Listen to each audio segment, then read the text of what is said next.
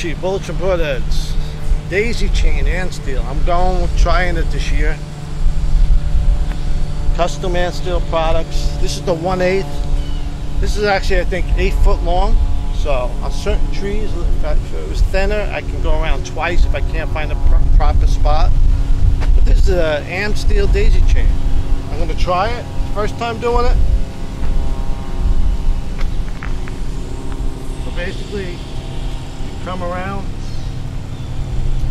find the nearest one, which is this one right here. Finding the nearest opening, let, let it come down. Pull it down.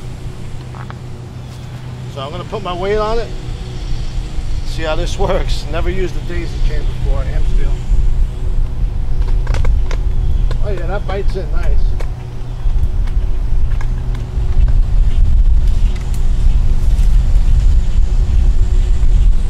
Wow, I'm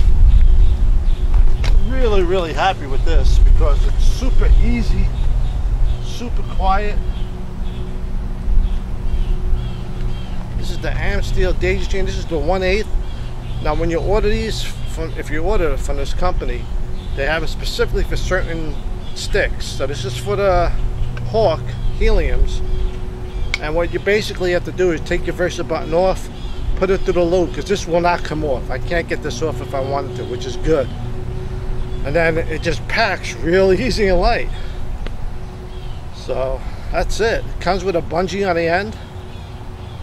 And you're ready to go. Super easy, super light. I'm gonna get some more. I'm gonna get another orange. So I'll have two with the I'm gonna put my orange ones for my top steps, the 1 8 and I'll get the black ones for the bottom steps. This way I can see this at night.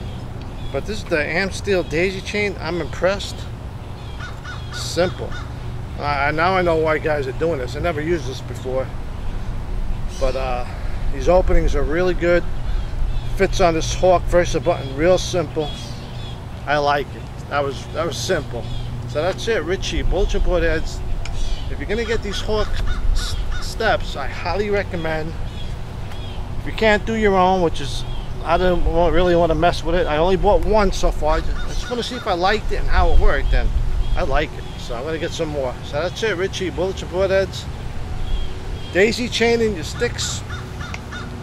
Quiet, light, real simple.